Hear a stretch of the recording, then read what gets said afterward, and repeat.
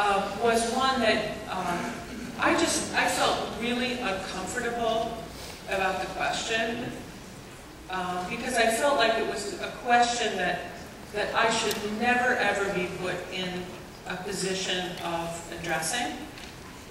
And so I'm going to insist that the person who submitted this question come forward and ask the question themselves.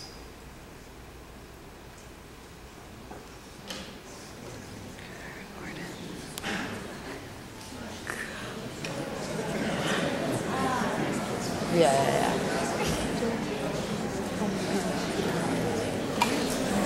What for? Yeah, that's my job.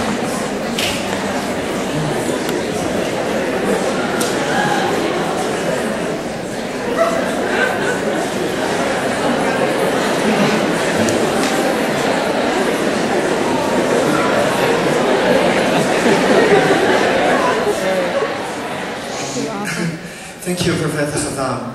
Um, my name is Yue, and I'm one of your teammates. Um, before asking this question, I actually have a small story to tell.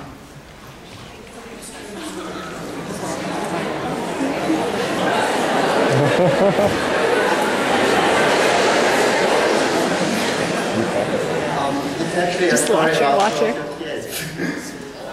so, um, it's a story about empathy, similarity, and familiarity. Um, thanks for the opportunity to hear human bonding together. We got the chance to sit next to each other during classes, to share those laughters and ooh moments, and to spend the late nights grading hundreds of tests. it's a story about attraction. I like your neotenous features and your small relationship visual. Um, you, you worried about your face being round, but now we have proof that for women, blockchain is considered attractive. It's a story about reciprocal liking. After the class about online dating, we both um, went to register in OkCupid. and answered their questions. Um, we actually got a 99% match. and the system puts us together. It's a story about infatuation.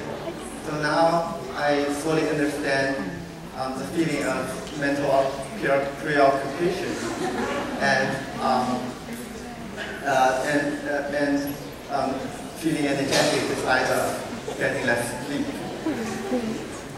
Um, this is a story about intimacy. Um, we share the vulnerable feelings about ourselves and about each other, and hopefully um, the knowledge about breakups can help us avoid those four horsemen of apocalypse. Um, and lastly, I hope it can also be a story about commitment. So we know that one of the most important components of commitment is going public. So now I wish to ask this question in front of the whole class.